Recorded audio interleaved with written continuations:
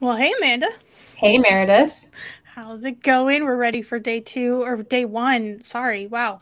Um, session we afternoon sessions of um, the workshop. So hopefully yeah. the conversations have been wonderful so far, and we're looking forward to the rest of the afternoon.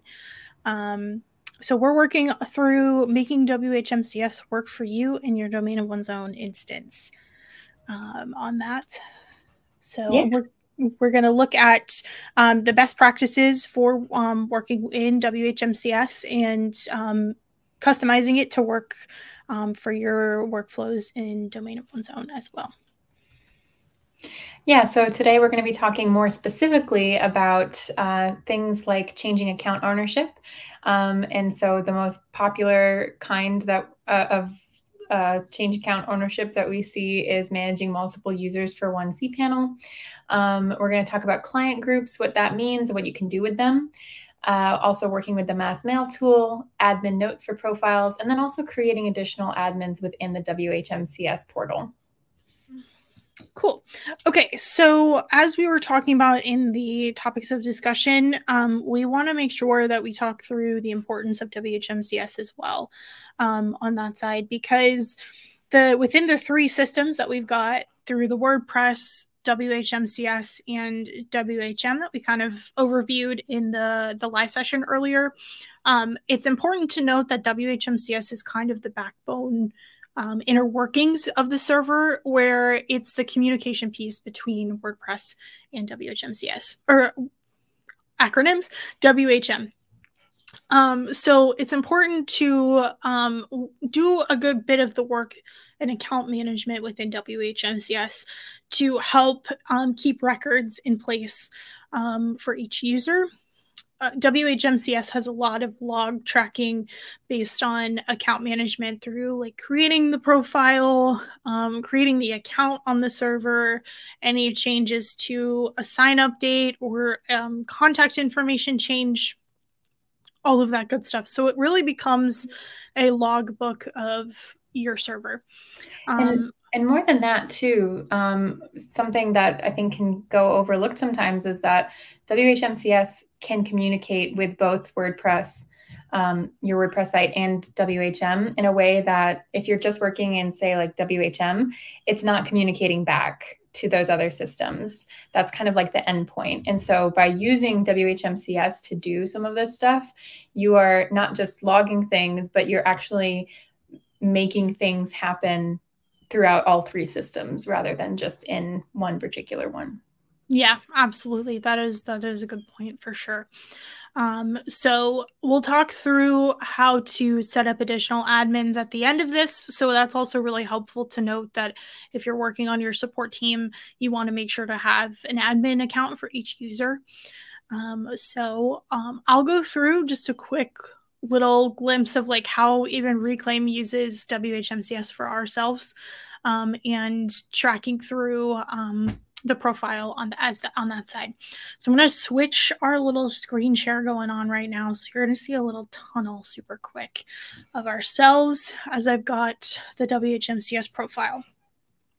So first, um, I just have a test account set up on um, a WHMCS server to show what you'll see. Um, now, keep in mind there are two versions of WHMCS. You might see some of our newer setups have a more recent version of WHMCS, and a lot of our legacy um, existing accounts have this view. This is one of the older versions of WHMCS. We are in the roadmap talks of updating, so you don't need to worry about updating right now, but there are changes coming. Not anytime soon. We're hoping for um, not we're we're in the the talks about timelines and all of that stuff, but it is coming.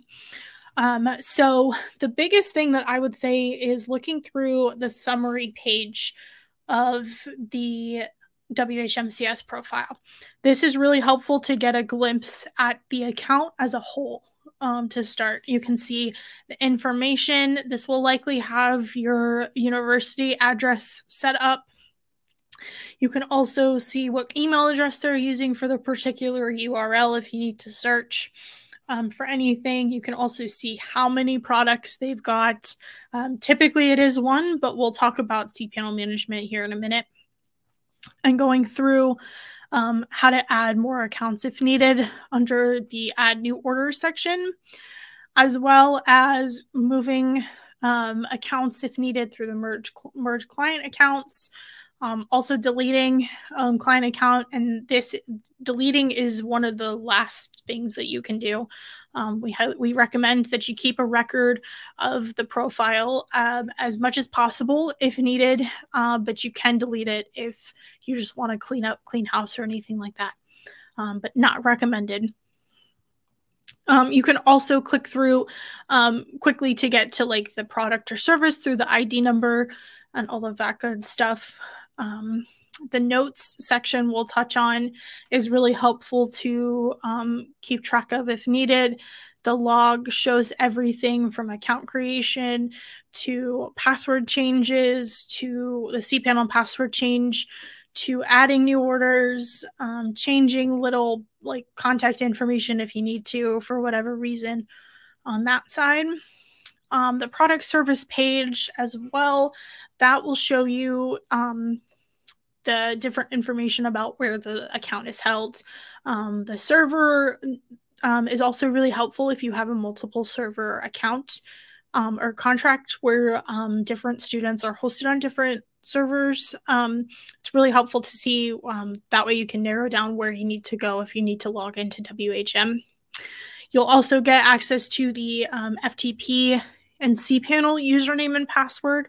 So it's really helpful if um, a student needs to um, SSH into their account or FTP into their account. Um, this is also where you'll change the primary domain during that process, um, so we can we can um, add that into the chat as well. Um, and then you can see information like registration date and to see when they signed up. So you can kind of, if you're deprovisioning, you can kind of gauge they've been here for four years. So um, maybe it's time that we re- retire their account and all of that stuff. Um, the module commands are also really helpful. Um, if you need to, for whatever reason, the account didn't go through, account, account creation didn't go through, you can click create, and that will provision the account on WHM and then sync with WHMCS to embed the cPanel in the WordPress dashboard. You can also quickly suspend the account if needed. This is helpful if um, you get like a malware request, takedown request, or um, uh, like a phishing scheme takedown request, anything like that, or you just need to quickly take a site offline. You can click suspend. It'll put up a splash page on that side. And then on the flip, you could do unsuspend to bring the site back online. Um, if your uh, school uses different packages based on the type of user you're working with, so like say you have a faculty package or a student package, you can change that um, in WHMCS, and then also sync the the, the FTP password with the server on WHM. If you click this change pas- password module command, it will change the password to whatever is listed in the password um, box here. And I think that that particular button is kind of poorly named. I think that yeah. it should be named sync password because um, it's misleading that you're like changing a password really because all it's really doing is repairing that bridge that exists between the systems. Um, so it's not, yeah. it's really not a scary thing to click. Um, you're not going to, you know, lock a student out. Um, typically, it's used when you're in a situation where, for some reason, the student can't get into the WordPress admin dashboard, for example, that's on their um, that's in their cPanel. Um, usually, they can just click on that link from Installatron and then um, be brought right in and signed right into that dashboard. But sometimes that connection can break, um, and so the first thing you want to do I, well, first thing I like to do is just run that change password because typically that will um, get everything kind of back. Absolutely. And it is important to note that this password is different from their single sign-on password too. So if they sign in through their through the main their main WordPress um, portal, so like in this case, this is a BYU um, test account um, if they signed into BYU um, through their their single sign on. This password is different than the um, password they use to sign in. Um, if the for whatever reason they see a cPanel login screen after they sign in, this is where you would go to help sync everything back up, and then let them they'll see this the cPanel dashboard on that side. So it's really helpful to have um, a sense of what goes on in this um, product service page, or even just the summary page itself. Um, for folks. So definitely take a chance and look through um, your WHMCS profile if you need to. Um, and let us know if you have any questions in the Discord chat. We'll definitely take a look. We'll move into cPanel management. Yeah. So, say you want to um, have one user that has control over not just one cPanel, but multiple, and you want them to be able to access them easily from their one account. Um, and so, we, while cPanel doesn't really make this very easy. It's not like built in natively to their functionality. Um, we are able to do a workaround that um, we can show you how to do as well as domains admins. So um, they have the you know ability to manage multiple uh, club websites or collaborative research research projects. These might be the case studies uh, or scenarios that you might find yourself wanting to have a good handle on cPanel management for. Um, and we do actually have documentation on this as well. So while we'll take you through step by step here, um, we'll also be sharing in the chat that documentation that is readily available to you. Yeah, absolutely. Um, and our help center is um, a great resource for that as well. So we'll definitely make sure to share share all of those, and let us know any questions you've got in Discord. Right. Um, okay, so we've gone through the WHMCS overview and talked through different processes that we can go through on cPanel management. So let's actually look at that itself. Um, I am going to switch the screen share again so we can see the, the profile. Um, so I have my test profile here, and I also have Lauren's test profile. Um, I'm going back to the summary page, and her and I are working on the example.tld account within the profiles. So this means that um, Lauren originally was sharing her cPanel password with me for this account. Um, and it's not necessarily um, super secure in the sense that um, we it, uh, we don't want to share passwords with folks. So within the cPanel management sphere, we found a workaround to allow for more than one user to manage their the same cPanel, because cPanel itself doesn't have really great options for multiple users. So in this case, I am going to add a new order on my profile for this example.tld account. I'm going to go ahead and open up the user profile here or the, the product profile here um, just so I can have some information up front um, for myself. So first, I want to make sure I am copying the username to my clipboard. This is going to be important after we set the order um, to make sure that both accounts are using the same cPanel username because in the WordPress um, code we have set up for the dashboard, it tracks based on the cPanel username and then embeds cPanel to that account, to that profile um, based on that from there. So I'm going to just go ahead and copy that. But then I'm also going to just make a note of what the domain name is. And on my profile, on under the summary page, I'm going to click add new order.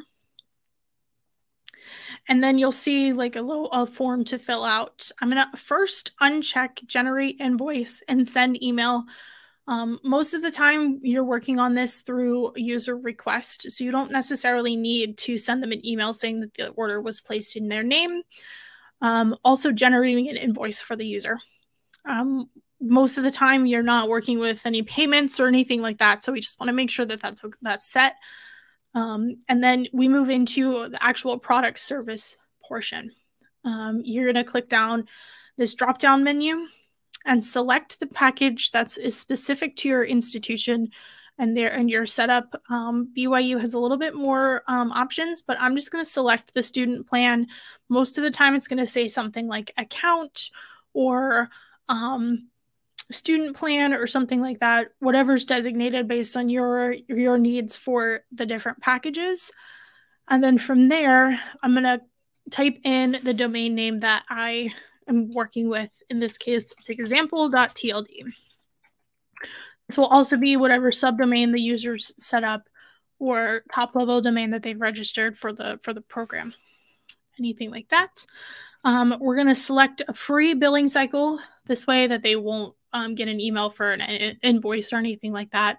Um, and we'll be good to go. I'm going to do this just on my end to make things look um, very similar to how it's going to look on, on your instance. Most of the time, this is going to be zero um, no invoice needed. Um, and we're going to submit the order from there. I'll be brought to a confirmation screen um, where you can see my, my profile information um, and the product we just set up. Now, this is where we're going to change the cPanel username to the one that um, Lauren was working with. So I'm going to paste in the cPanel username. The password doesn't really matter right now.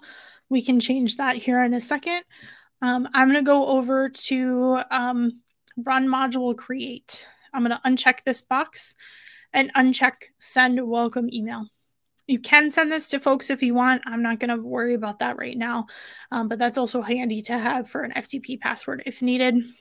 Um, I'm also going to make sure to designate what server the account lives on. Um, so if you have multiple servers within your setup, you just want to take a note of that on the the original profile. So here under the server server drop down menu. So I'm going to keep that on BYU one, and then I'm going to accept the order. And this is going to push through um, the account the account itself, um, and um, you'll get a, a, confirmation that it went through successfully. If there's any other error or anything, it will also be displayed in the box here. So once that's done, you're going to go into um, the shared hosting product itself, which you can just click on the words shared hosting, and that will redirect you to the product service tab within the profile. And then from here, if there are any like FTP needs or SSH needs, you can copy the password from the original account and move that into the same password. Scroll down to the bottom of the page and click Save Changes. That will save the box here. And then we're going to use that handy dandy change password module. Um, and I'm going to get an error because I guess the account doesn't exist on the server. But if you're if the account already exists on the server, you're going to make sure that it works. It, it um it'll you'll see a green um, confirmation button there um, that everything is synced up. So we are good to go there. And this is really handy. So you can do this like five times if you have like a five person group project that you're working with the professor on, or like a multi multi managed um, club account for like the fencing club on campus or something like that. That that's really handy. You can set the um the main administrator like as the the project owner, and then you can just add um, orders to each each um, additional administrator as needed on and that side. Something to keep in mind as well that I learned the hard way with this particular process is um, that in order to check and see if it has worked, it really is only going to work if you go into the user's account through uh, the WordPress dash dashboard. So if you try to um, access the cPanel from the product services page in WHMCS, you're not going to see a, a, difference, a change. But if um, you go to your Domain of One's Own WordPress page and then you switch to user, you should be able to see um, that drop down from there. So they'll see it fine on their end. Um, yeah. So in mind because it can absolutely for sure. So that that's the top um, screenshot here in this um, slide. Um, it's down at the bottom left of the dashboard embed. So you can always switch between um, the profiles. Um, another thing to note too is to be careful at how fast you're switching between accounts. Sometimes um, users may run into issues where they go into one cPanel and then quickly switch into the other one, and the cPanel passwords kind of get out of sync. So you want to make sure to do that change password um, if you if you have anybody reach out about that. So that's um, really handy, and just just be mindful of like how fast you're moving through. You can like take a couple seconds and then allow the the code to regenerate a login um, login token for each each user. Okay so we are working through transferring ownership now that we've talked through adding multiple accounts to folks folks uh, user profiles um, this is really handy if uh, for whatever reason the project owner has left the college or no longer can maintain the um, account itself, you can quickly transfer ownership to the new person, new manager of the account itself. So this is really handy. Um, and we'll go through that process. Um, you will see a tunnel. Again, I got to switch my um, process really quick.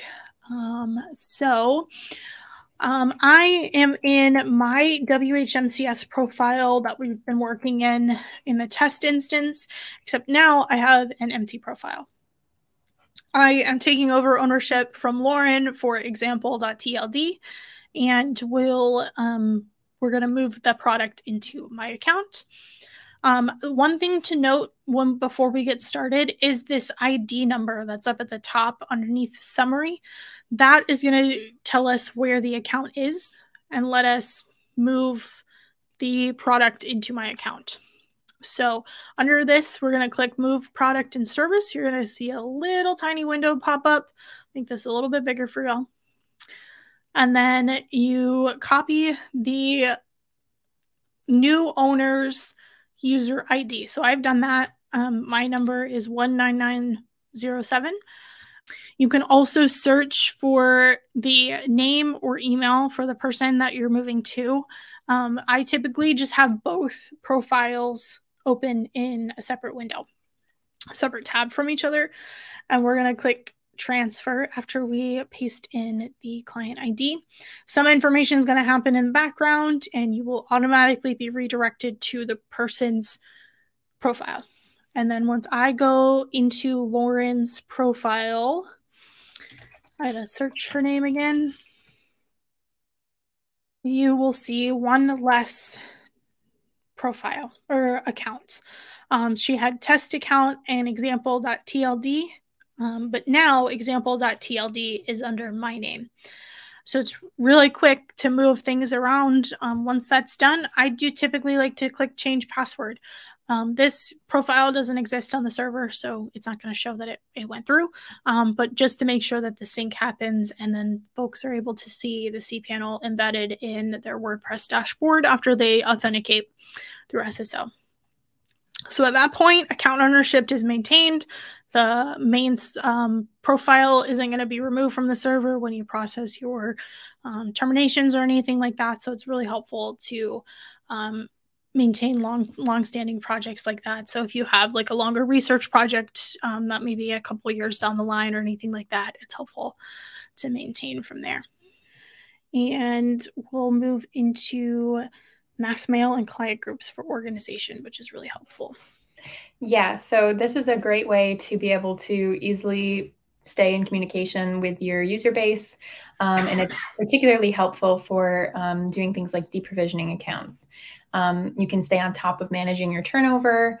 Um, so you can set up accounts, uh, set up group uh, client groups that are based on projected graduation year. You could set them up based on sign up date. And then essentially you're just emailing everyone who is in that group. Yes, yeah, through the mail, the mass mail tool. It's also really helpful when you set policies for your deprovisioning process. Um, and Pilot and I will be talking about that tomorrow. So um, definitely stay tuned for that, and we'll kind of work in tandem on both of those. So Awesome. Cool. So we'll talk through a little demo on adding a client group to your profile and then sending or setting up a test email for folks. as well. So I'm going to be, uh, going to see a little tunnel again while I switch my screen. Um, awesome. Okay, so I was just working in my profile here. And to set the client group, you're going to go to the profile tab on the user entry or user page. And then you're going to see down here at the bottom, you're there towards the bottom on the right side, it says client group with a drop down but drop down menu. So you click that um, and you want to also set the group prior to this. And so I kind of am doing this backwards, but I'll set the the client group and then we'll um, go through how to add them just so you do that first and then you can set the client group. So i've got um, a reclaim hosting um, group set up here so i'm going to select that and scroll down and click save changes on the profile. This will um, confirm that the group is set and you'll see a green um, changes saved successfully message, which is awesome. I'm also going to do this to Lauren's profile just so we have more than one person in the group um, on that side. And that is saved.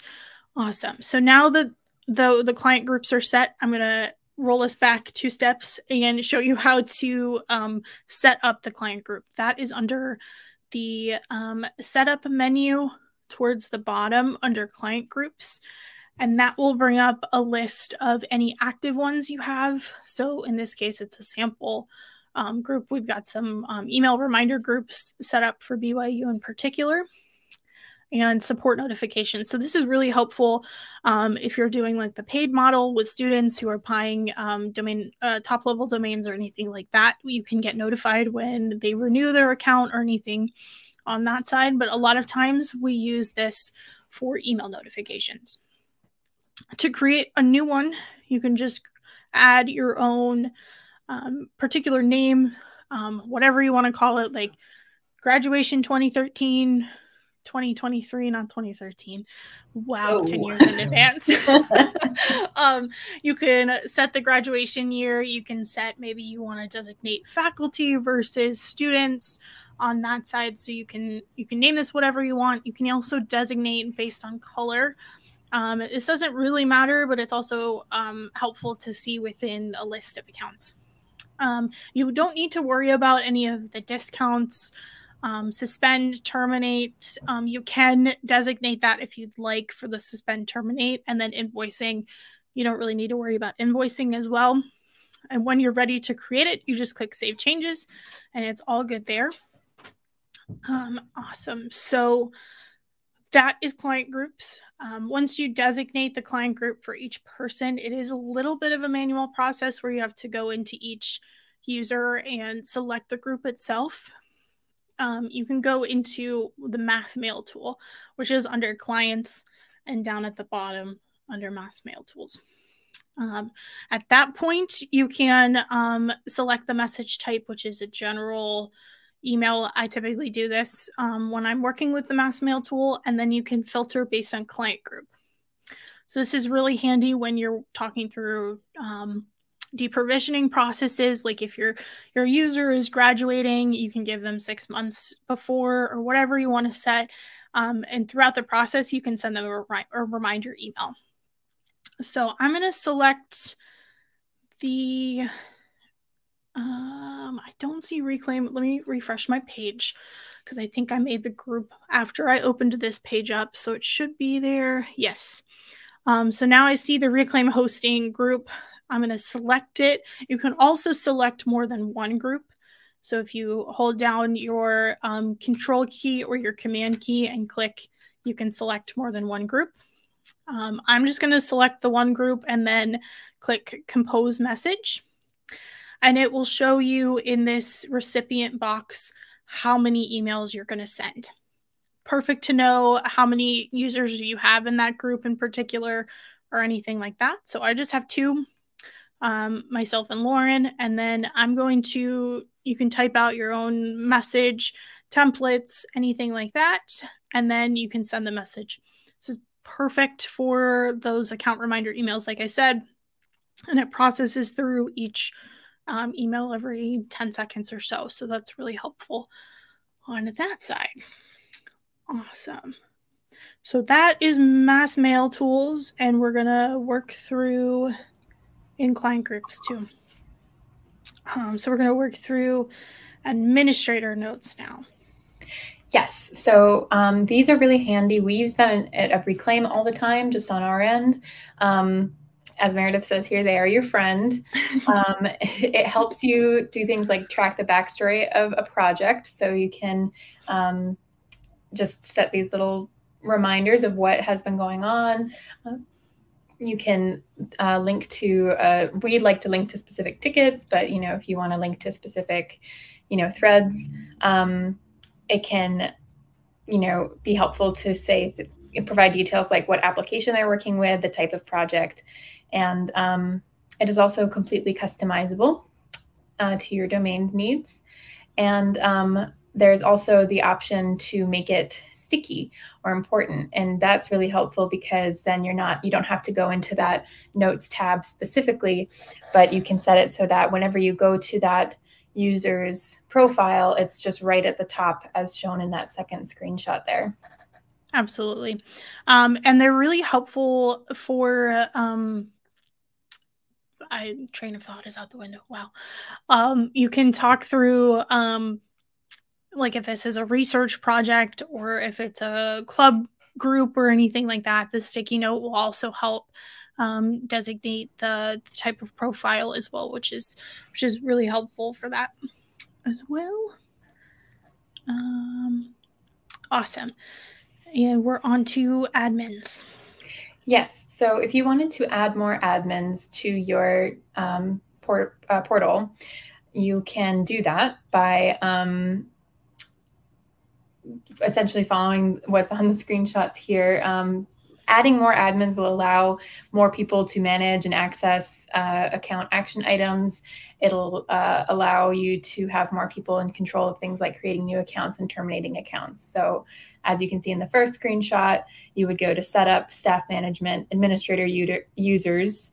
Um, and I believe that that is kind of is the old setup for mm-hmm. WHMCS, while yes. the screenshot below shows if you have the newer version of WHMCS, you would be going to that um, Manage Admins tab, which is under which of those icons, Meredith? I believe it's the wrench looking icon okay. um, on that side. So I just wanted to um, designate both versions of WHMCS because this process does change in upgrades. Um, and so we'll have documentation on that and update documentation when needed for those. Um, but I highly, highly recommend that um, your team makes admin accounts in WHMCS.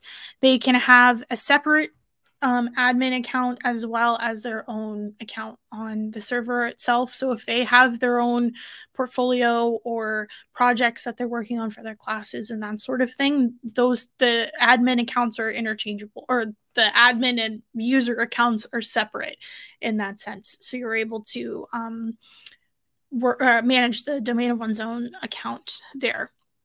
Um, this way, you're not relying on one person in particular to do a specific action within um, WHMCS. Uh, Reclaim has their own admin user, so we definitely recommend that you keep that admin there so we can go in and troubleshoot with you with folks if needed. Um, and the um, admins are always going to be a good option um, on that side.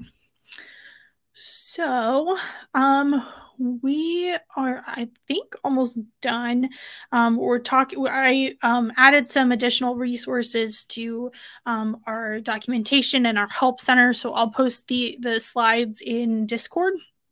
So feel free to take look take a look through our WHMCS in depth options, changing account ownership, which um, we can um, talk through in Discord as well, and then cPanel management, which is that um, user option from there.